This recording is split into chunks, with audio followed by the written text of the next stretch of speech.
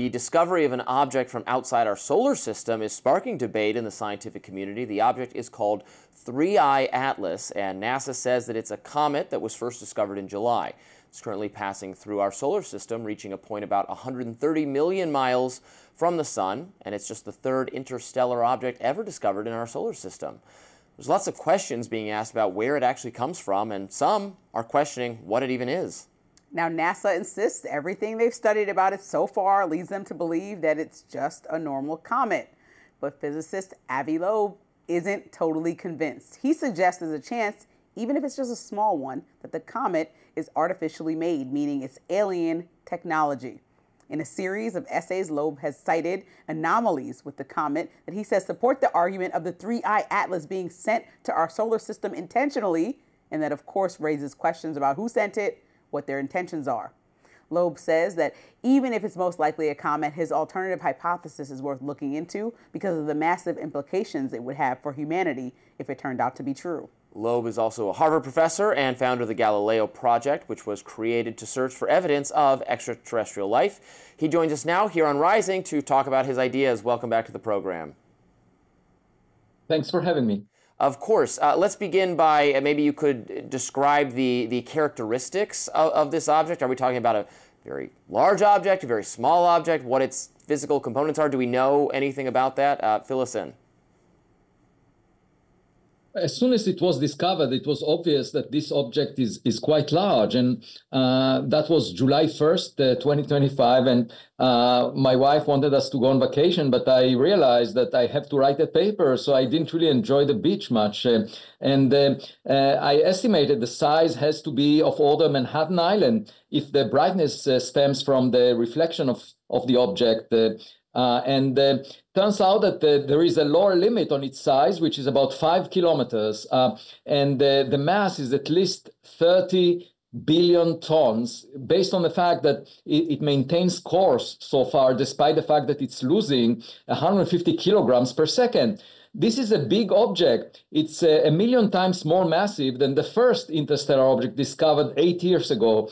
And the question is, why haven't we uh, found millions of smaller objects before we find this giant one.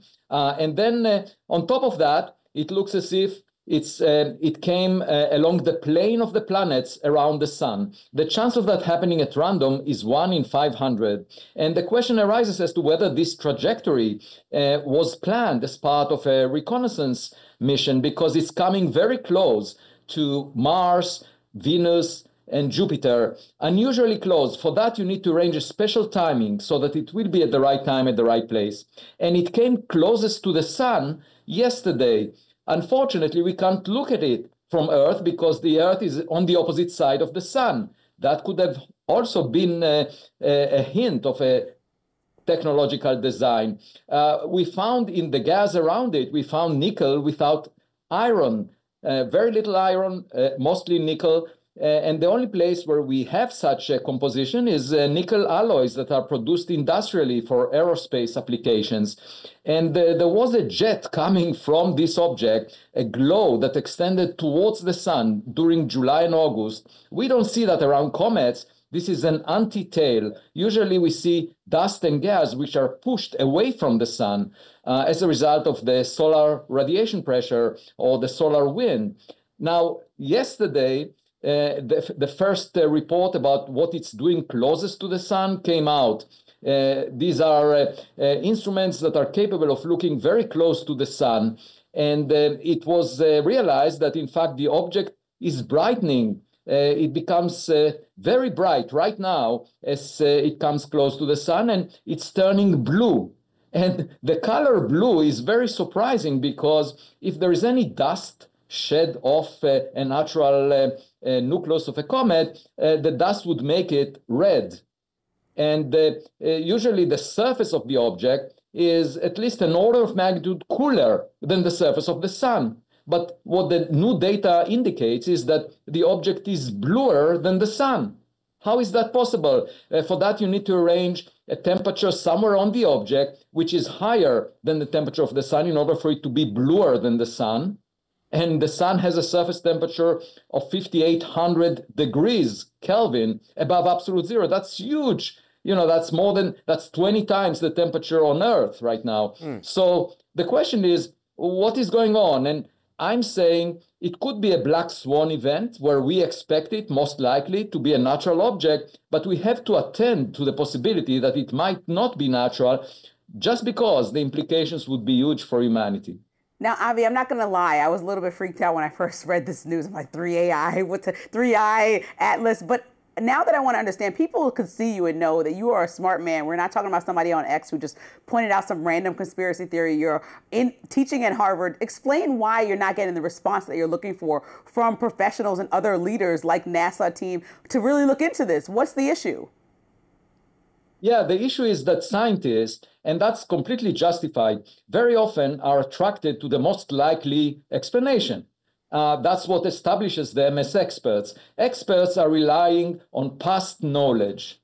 But here we have a blind date with an interstellar visitor, and it's a blind date of a type that we've never had before. So relying on past knowledge is not a good practice. But more importantly, usually, you know, if you look at a, an exploding star at the edge of the universe, it has no implications for society. So it's better not to take risks and say, oh, that's an exploding star of a type that we understand. However, in a case where you have a visitor to your backyard, the visitor might enter through your front door. That's a situation where there is an important threat to humanity, and therefore, even low probability events have to be taken seriously. That's something that the scientific community, including NASA, does not necessarily understand.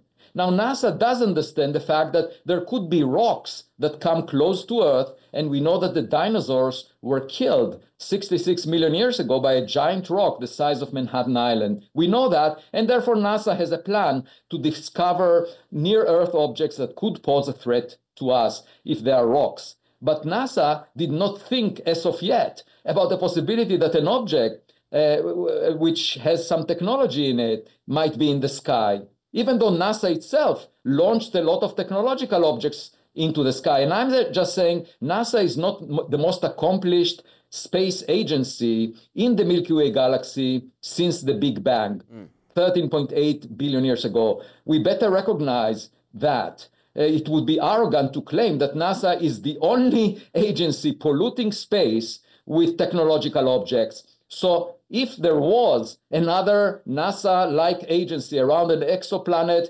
billions of years ago, simply because the parent star uh, formed billions of years before the sun, we know most of the stars formed before the sun. The sun just is a late star that formed just in the last one third of cosmic history.